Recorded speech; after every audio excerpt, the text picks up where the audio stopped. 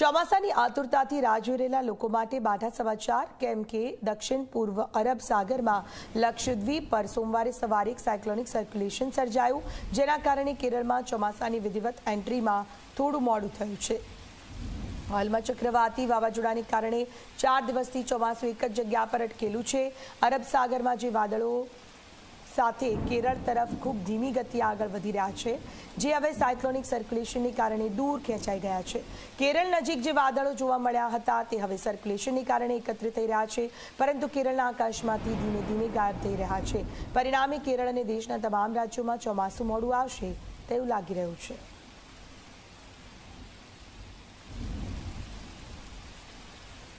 આગળ વાત માવઠાની આગાહી અંગે.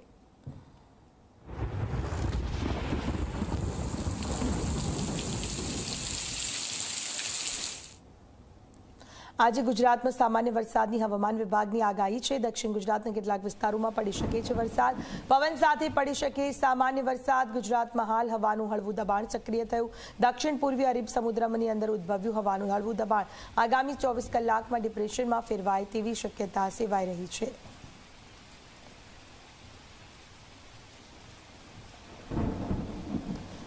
દક્ષિણ પૂર્વ અરબી સમુદ્રની અંદર સાયક્લિક સર્ક્યુલેશન તથા આજે સામાન્ય વરસાદની આગાહી છે. ગુજરાતમાં સામાન્ય વરસાદની આગાહી વ્યક્ત કરવામાં આવી છે. કેટલાક વિસ્તારોમાં છૂટો છવાયો વરસાદ પડી શકે, પવન સાથે વરસાદ પડી શકે છે. ગુજરાતમાં હાલ હવાનું હળવું દબાણ સક્રિય થયું છે.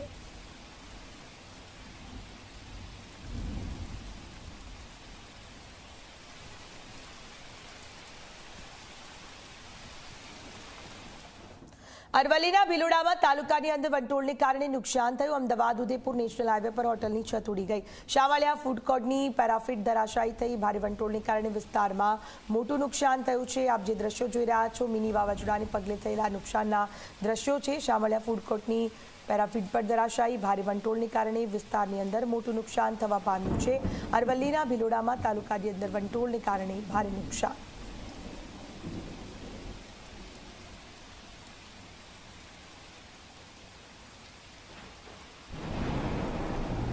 સમીર ફોન લાઈન પર જોડાયા છે. સમીર ભિલોડા અરવલ્લીમાં ભારે વંટોળને કારણે વિસ્તારમાં મોટું નુકસાન થયું છે.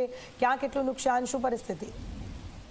ત્યાંથી વાત કરવામાં આવે તો ગઈકાલે રાત્રે જે રીતે વાવાઝોડું આવ્યું હતું તે વાવાઝોડાને પગલે ભિલોડા તાલુકામાં વ્યાપક નુકસાન સામે આવ્યું છે.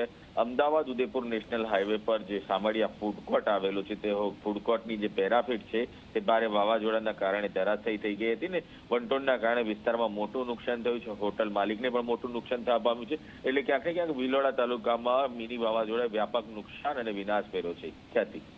આભાર આપ તમામ માહિતી બદલ.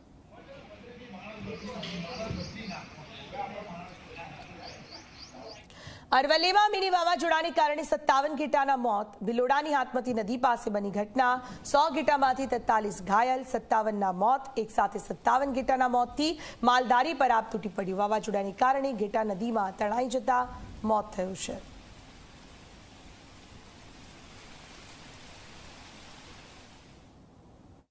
વાંકાનેરથી ગેટા પવન આવ્યો, પવન હાથી ગેટા નીકળી પડ્યા એટલે નદીમાં આવી ગયા, ભિલોડા નદીમાં આવતા ગેટા કૂતરે બહુ ઘાયલ કરી દીધા છે, બીજે મરી ગયા છે શેલીન ત્રણ ગેટા અત્યારે હાલમાં ઘાયલ છે, બરોબર? સો ગેટા હતા એમાંથી શેલીન ત્રણ ગેટા રહે છે, બીજા બધે મરી ગયા છે, બરોબર? વાવાઝોડા હાથી વીજળી પવનમાં નીકળી ગયા છે, બરોબર?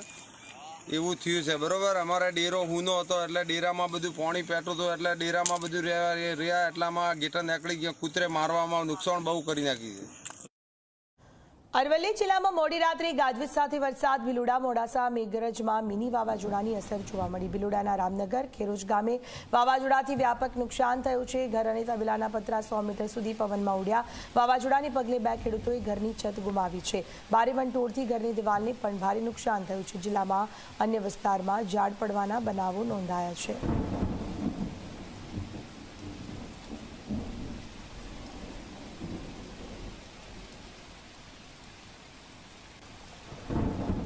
સાબરકાંઠા જિલ્લામાં વાવાઝોડું ફૂંકાયું. રાત્રિ દરમિયાન વીજળીના કડાકા ભડાકા સાથે વરસાદ પડ્યો. વાવાઝોડાએ જિલ્લામાં ઠેર ઠેર હોર્ડિંગ્સ પાડી દીધા. હિંમતનગરમાં મહિલા પોલીસ સ્ટેશન અને બી ડિવિઝનના બોર્ડ પણ પડ્યા.